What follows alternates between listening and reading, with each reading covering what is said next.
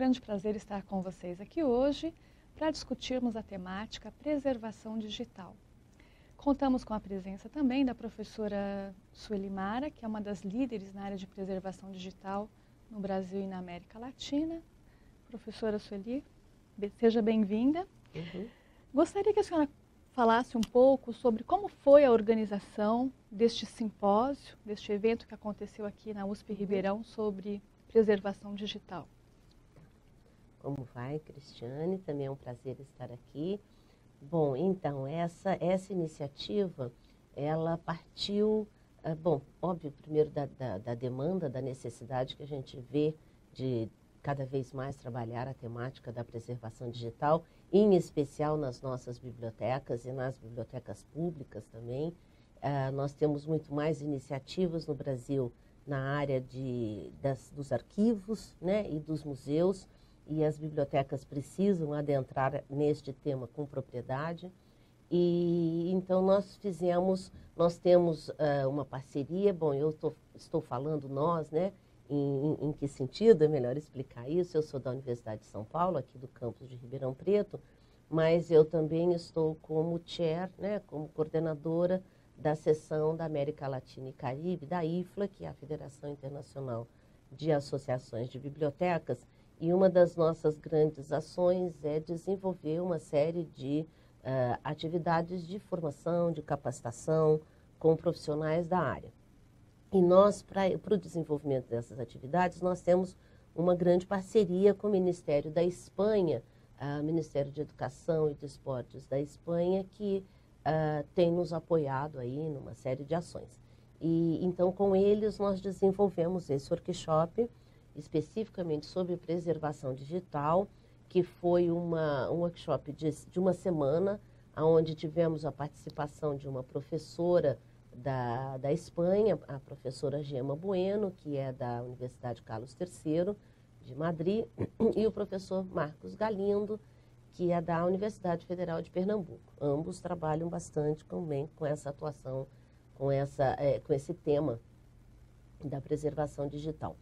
E, e a nossa, o nosso curso, ele tinha, a, além dessa preocupação com a, né, de criar aí uma estrutura básica, inicial, né, um fortalecimento na área de preservação, nós tínhamos duas metas fundamentais. A primeira é que qualquer pessoa que quisesse participar do curso, os participantes, eles deveriam estar já com o projeto em andamento, ou uma tentativa, ou proposta, etc., já estar envolvido, né, sensibilizados, envolvidos com a temática, e que este, uh, mas que este projeto fosse também, uh, tivesse também a participação de, da biblioteca, da biblioteca institucional, da biblioteca do, da, da cidade, de alguma maneira uma biblioteca envolvida, exatamente por conta dessa, desse estado que eu comentei antes, que a gente tem muito mais arquivos e museus participando. E nós achamos que era uma forma da gente né, fechar e fortalecer o profissional da área. E principalmente porque a, a, a IFLA é para as bibliotecas. Né? Então, nós tivemos essa preocupação, esse era o primeiro ponto, uh, ou três pontos, vamos dizer, né? o primeiro que já tivesse um projeto, o segundo que esse projeto tivesse as bibliotecas envolvidas, e a terceira parte era que os membros, os participantes desse workshop, tivessem a responsabilidade de multiplicar, uhum. de levar, voltar para suas instituições e desenvolver alguma atividade de multiplicação. Então, na proposição do, do, do curso, né, da, da, da, sua candidatura para o workshop, para o curso, ele já tinha que, inclusive, mencionar uhum. as estratégias de multiplicação que eles iriam tá, estar desenvolvendo. E, então, essas eram, foram as premissas principais. E dentro dessa, desses objetivos do curso, né, do, do, workshop que foi proposto, quem foram os participantes? Você pode detalhar um pouquinho mais de onde eles vieram, isso. que perfil então, acadêmico ótimo. eles tinham? É, isso foi super interessante.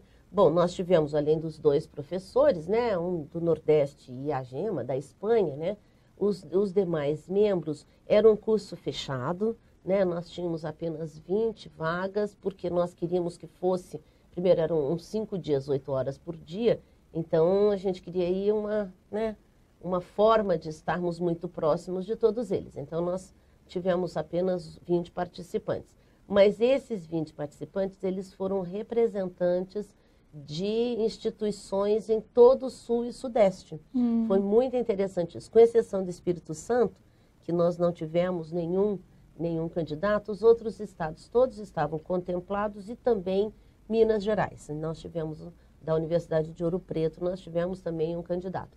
Então nós fomos assim, é, foi muito bom, né? Porque a gente teve aí uma distribuição geográfica muito interessante.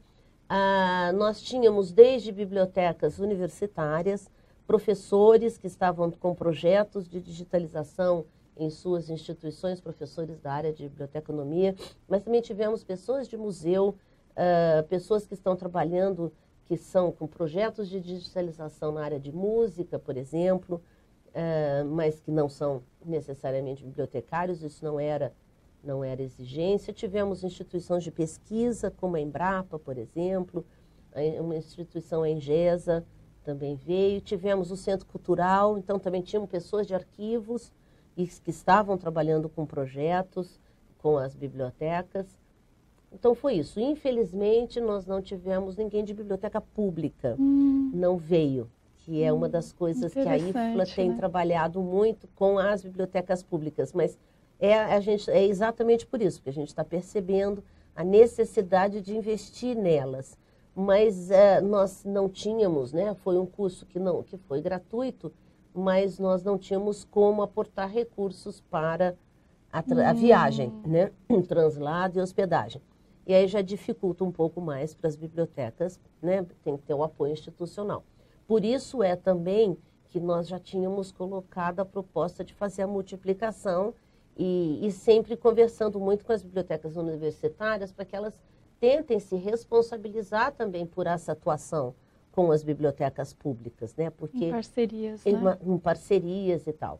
E aí agora nós estamos com essa proposta, né? Agora a gente tem que ver o encaminhamento. É. Talvez, professora, essa questão das bibliotecas é, públicas e das bibliotecas universitárias esteja mais relacionado com a produção intelectual que elas fazem, né? É. Será que a nossa biblioteca pública está produzindo as memórias locais? Como que você vê essa parte? Então, na verdade, foi muito boa a sua questão. O grande problema nas bibliotecas públicas, que a gente pode até pensar, bom, elas não vão ter muita coisa em termos de memória, né? Para digitalizar e para preservar, né? Mas, na verdade, uh, esse é um dos grandes papéis da, das bibliotecas públicas, né? É, não só uh, no Brasil, na verdade, a gente acaba tendo essa, essa visão e, e, esse conceito da biblioteca pública muito mais ligada especificamente à área educacional, uhum. né? Até porque como nós não temos bibliotecas escolares, a gente acaba as substituindo pelas públicas, né? Ou as públicas fazem o papel de. Mas o que a gente vê no resto do mundo é que as é bibliotecas verdade. públicas elas têm uma atuação muito forte na preservação da memória local, né? no que está acontecendo no seu ah, bairro, na sua região. Né? E, e, isso é de uma extrema importância. Com né? os personagens daquela região. Né? Exatamente. Né? Então, esse trabalho a gente está tentando resgatar. E há mais do que isso, uma das coisas, embora o tema tenha sido preservação digital, né? Uh, a discussão sobre própria, o próprio conceito da palavra preservação, ele também tem que ser muito discutido hoje por conta de que o conteúdo digital ele está cada, cada vez mais complexo do ponto de vista de, da, da, da propriedade dele, não é, do, da, dos conteúdos que nós estamos adquirindo, como é que é o contrato de aquisição, que é um outro tema, né? A gente não vai necessariamente discutir sobre ele agora, mas de qualquer forma, a sensibilização das bibliotecas públicas para todo esse ambiente é extremamente importante. Professora, para aquele profissional de informação, para aquele bibliotecário que não pôde estar presente no workshop, é que conteúdos foram tratados e que conteúdos deveriam ser assimilados pelos profissionais de informação, uhum. pelos bibliotecários, pelos arquivistas e documentalistas, para que eles é. se empoderem nessa arte da preservação digital? Então, essa, essa pergunta é ótima. Na verdade, bom, a gente teve aí várias, né, vários aspectos, né, desde o do conceito uh, de, de, preservação uh, até pensando a, a, vinculação disso dentro de uma grande área que hoje está sendo discutida, que são as humanidades digitais, como é que isso acontece, a parte da curadoria, o planejamento estratégico né, de como fazer, o que é um programa de preservação, políticas de preservação, técnica, todos esses temas foram discutidos. O que foi importante é que nós temos alguns produtos que eu gostaria de comentar, que eu acho que foram interessantes. Bom, primeiro, durante o nosso, embora nós tenhamos tido só 20 pessoas participando, nós, nós estávamos no Centro de Informática aqui da Universidade, né, em, em Ribeirão Preto, e aí nós tivemos a oportunidade de é, transmitir online. E durante aquela uma semana nós tivemos 955 pessoas participando, e algumas participando durante muito tempo, a semana toda do evento, é, inclusive de pessoas de Portugal mandando questões, etc. Hum. Então ela já teve um impacto social até. Pois é, que já foi bastante interessante. E nós também estamos com a preocupação de não só a multiplicação né, pelos, uh, pelos nossos participantes, e para essa multiplicação, o mais complicado é como é que nós vamos acompanhar isso, né? E como é que nós vamos, mais do que acompanhar, dar suporte também, porque a gente sabe que não é simples você fazer uma, né, um, um evento, um curso, etc., sobre um assunto, principalmente um assunto tão denso quanto a preservação.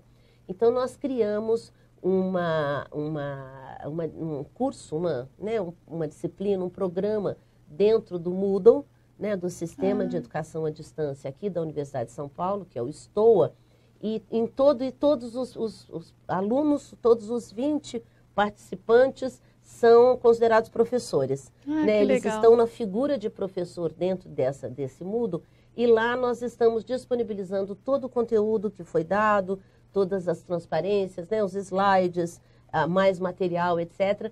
E quando uh, uh, eles começam a ter as iniciativas de fazer alguma multiplicação, eles também de, depositam lá os seus materiais. Então, sei lá, algum deles pode estar, tá, foi mais afeito, tem mais a ver com met metadados, então ele prepara um conteúdo para multiplicar esse, essa parte do tema da preservação e coloca. Outro tem uma outra área mais com política e assim um vai ajudando o outro, etc. Então nós estamos trabalhando, ainda é muito recente, né? Nosso evento terminou na última semana de outubro, então ainda temos aí, ainda estamos trabalhando, mas a gente já tem algumas multiplicações, pelo menos internas, nas próprias instituições que já nos foram relatadas.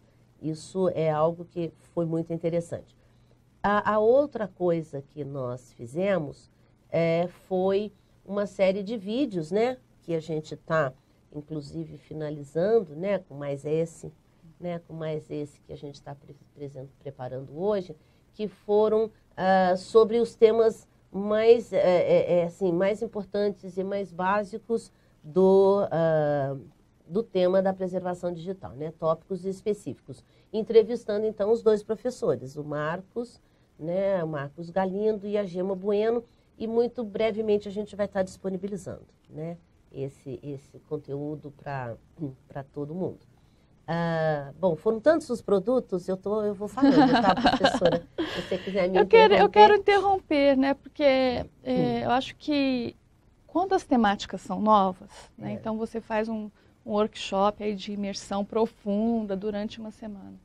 Mas ao mesmo tempo que você faz um mergulho profundo, depois você emerge né, na é. superfície e você é, está em contato com a sua realidade. Aquilo que você aprendeu, ele vai se perdendo.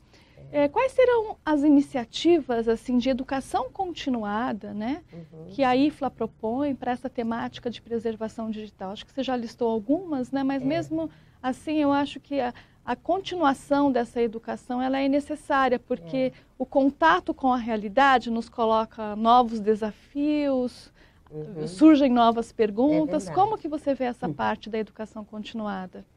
Então, é excelente. É, é, é, esse é o grande desafio. Como é que a gente continua, né? Então, é, uma delas é, pelo menos, porque a IFLA ela é em termos internacionais, né? E essa atividade foi uma atividade que nós fizemos especificamente para o Brasil. De qualquer forma, os vídeos que eu comentei anteriormente, a gente já fez também em espanhol, era espanhol e era em português, né? então mais ou menos a gente deixa aí alguma uma coisa. Porta aberta, né? né? Uma porta aberta, é porque a, a professora Gema é da Espanha, né? E isso nós vamos estar disponibilizando agora. Ah, e a, a IFLA, ela tem, ela acaba de soltar uma, a, o seu planejamento estratégico de 2000 para até 2020, e dentro das iniciativas chaves, como elas colocam, ela tem a iniciativa da preservação. É uma preocupação grande que ela traz uh, e ela tem vários projetos sendo desenvolvidos nessa linha, inclusive de, de, de âmbito mais, né, mais a, a, a amplo, como, por exemplo, projetos sobre o escudo azul, mas também coisas mais específicas, como esses cursos de, de capacitação. Uh, nós pretendemos, na América Latina, a ideia primeiro é tentar multiplicar esse curso de novo, uhum. né, e multiplicá-lo também uh, nos outros países. Uhum. O grande problema é que não é simples, né, porque ele exige presença, então é um pouco mais oneroso. Nós também estamos, já fizemos, né, uma, já tivemos, não com essa temática, mas nós temos aí um trabalho grande com os webinars, que são né, aqueles seminários mais curtos para estar tá sempre levantando o assunto. A gente pretende também em 2016 voltar a fazer alguma coisa nesse sentido. Uh, nós fizemos, isso acho que era importante também, esse, esse workshop nós gravamos, né? Uh, além das entrevistas, dos vídeos que nós fizemos das entrevistas com os professores, nós gravamos. E eu agora estou com essa massa enorme de mais informação. de 40 horas de informação aí para a gente começar a trabalhar. Vamos ver como é que nós vamos fazer. E, de qualquer forma, com todo aquele conteúdo, nós pretendemos, ainda no primeiro semestre de 2016, publicarmos uma espécie de uma cartilha, hum. vamos chamar assim. Ainda a ideia é que ela seja tanto em português quanto em espanhol, inclusive porque a gente tem também a professora Gema participando, uh, e é para a América Latina.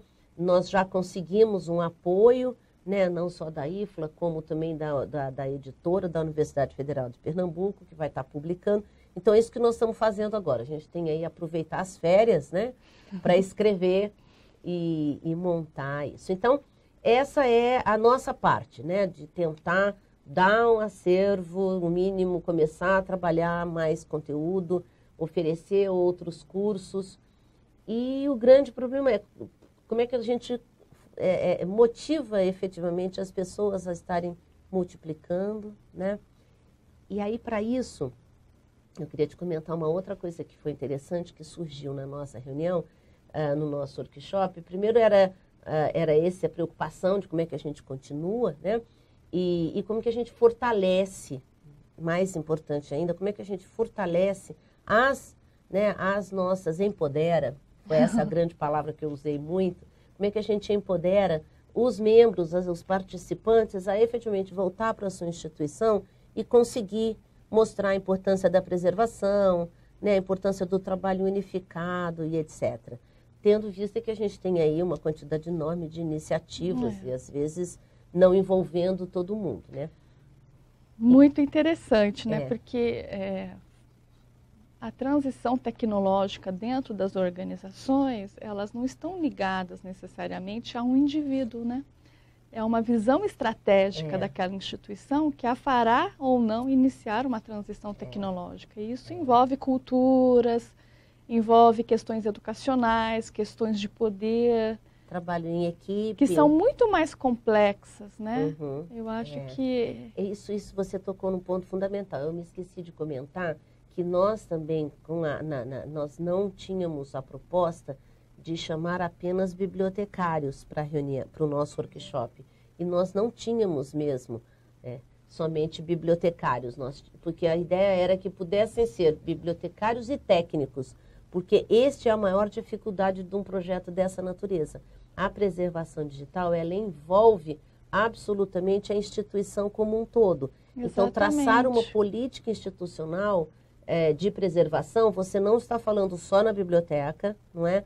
Você também tem que falar na biblioteca, no arquivo, no museu, quando, né, quando for o caso, com as áreas de informática, com a área educacional, que preservar, etc. Então, essa parte é muito necessária, né? Então, para isso, uma das coisas que a gente fez, que também foi resultado da reunião uh, do nosso workshop, que foi muito interessante, foi uma, uma carta de Ribeirão Preto. Uhum. Nós escrevemos uma carta de Ribeirão Preto, aonde todos assinamos, aonde nós identificamos, ah, primeiro, todos os, os, os, grandes projetos internacionais que existem, né, porque já tem diretrizes de, de das, da Organização das Nações Unidas, né, também da Unesco, da própria IFLA, etc. No Brasil, nós também já temos alguns, ah, algumas propostas do Ministério, com o Ministério da Cultura, com um projeto de, de acervos culturais, que estão com vários editais, acabaram de sair mais um edital agora para a área de indígena. Então, tem várias iniciativas começando. Né? Então, nós a, a, a fizemos uma carta dizendo que a gente reconhece todas essas iniciativas, mas que também a gente tem preocupações com algumas coisas do ponto de vista de, por exemplo, de múltiplas iniciativas sem uma convergência, uma, não é? Uma governança, Uma governança, né? né? Sem, é, e, e, também replicação de recursos, às vezes, né? Então, como é que podia ser feito? Uh, falta de formação. E a gente identificou uma série de coisas ah, e propusemos que, que, então, nós gostaríamos, inclusive, de algumas ações. Foi muito interessante, porque aí a gente se coloca já né, falando, olha, precisamos fazer tais coisas, Seria interessante se tivéssemos, por exemplo, um mapeamento nacional de tudo aquilo. Então, são ações que as próprias pessoas podem, não só dos grupos, mas outros, podem participar. E essa carta, só completando isso, essa carta ela está disponível no site da IFLA LAC, né, que uhum. é a uhum. LAC, é da a Seção da América Latina e Caribe. Nós temos um blog, essa carta está lá. E nós já estamos aí com quase 100 assinaturas, além das nossas, né? De outras pessoas que estão uh, se interessando também e também estão lá. O que é muito importante, porque você vai se posicionando e a gente vai tendo força enquanto grupo, né? Enquanto uh, equipe para poder depois chegar e poder até no governo hum. ou na instituição, etc., mostrar. É porque eu vejo né, que essa relação de poder é muito complexa dentro das é, instituições, é. né? Então, às vezes, o bibliotecário, o profissional da informação, ele é extremamente capacitado, ele é uma pessoa que investiu na sua formação, mas nem sempre o gestor superior, né, ele vai reconhecer é. essa formação. Então, é. se você tem, assim, diretrizes macros ou políticas nacionais, é. talvez esse gestor, né, e aí nos diferentes setores econômicos, ele fique mais sensibilizado até do que uma voz interna dentro isso. da instituição, não é mesmo? Na verdade, é exatamente isso. A gente não está falando sozinho, né? Nós mostrarmos pra, para as nossas instituições que é o mundo está trabalhando dessa forma e que nós estamos inseridos, que nós não estamos alienados, né, do que está acontecendo, a gente está atualizado. Então a carta tem esse esse uhum. propósito. E aí eu também até gostaria de comentar, a gente tem tanta informação, né, Cristiane? Me desculpe, mas é que eu acabo de chegar também de uma, de uma outra reunião, né, lá também na Universidade Federal de Pernambuco, e lá tivemos, porque existe uma coisa que se chama Rede Memorial. Uh, já é uma iniciativa de diversas universidades, de diversos grupos que estão preocupados com essa questão da preservação, etc. O, e a gente, nós tivemos apoio deles também no nosso workshop, e eu então tinha proposto que a partir da nossa carta nós pudéssemos começar a pensar em termos não uma rede única e nacional, isso eu acho que é super importante, precisamos ter, mas que além dela se organizar como uma rede nacional, que nós pudéssemos ter capítulos, né, como é uhum. chamado as redes internacionais, né, em diversas regiões, de tal forma que a gente pudesse também trabalhar mais próximo uh, das pessoas que estão interessadas. E aí, a, a IFLA, a, perdão, essa carta de Ribeirão Preto, ela poderia ser vista como uma iniciativa dessa, porque a gente teve aí um grupo sul-sudeste, mesmo aqui na região próxima de Ribeirão. E aí a gente levou essa proposta e foi aprovada uhum. da criação de, na rede memorial de grupos dessa natureza. Que, então agora o que eu preciso é pensar o que seria e sabe fazer uma proposta um pouco mais detalhada, se a gente cria esse aqui em Ribeirão Preto. Então, e mesmo eu abrindo esse, na verdade, o que eu quero dizer é que também outros podem ser abertos. Então, eu já sei de pessoas do nosso próprio grupo do Sul, Santa Catarina, por exemplo, que podem abrir lá e começar a conversar. Então, essa eu acho que a gente teve muitos frutos Criar desse workshop e foi muito interessante. O, o, tema é muito importante. É. Né? É, na minha observação da sua fala, né, na minha análise da sua fala, eu acho que realmente é, esse projeto de preservação digital ele só tem êxito né, envolvendo a interdisciplinaridade, né, que seria Isso. o bibliotecário, os gestores, uh, os profissionais de informática, né, uhum. uma coisa bem mais ampla, né, que não é. se limita então ao profissional bibliotecário. Exatamente, é, esse é e a gente tem que estar preparado, né? Para finalizar, professora, é, alguma dica especial que você queira dar para esse profissional de informação que queira aprender mais, então, sobre preservação digital? Então, nós temos aí, bom, espero que a gente possa logo também já estar repassando todo esse, esse material, mas nós temos outras iniciativas também no Brasil, não é? Gente, nós temos a iniciativa, por exemplo, da Rede Cariniana, né, que é junto ao IBICT, que também é nosso parceiro, eles estão fazendo coisas interessantíssimas, uh, trabalhando bastante com um dos aspectos, que é o de o de backup, né, que é super importante. Então, estão começando com as revistas, agora estão abrindo para os repositórios institucionais. Então, acho que a, a, minha dica é que as pessoas fiquem, comecem a ficar mais atentas, a procurar informações. Eu acho que essas duas instituições são instituições aí chaves, né?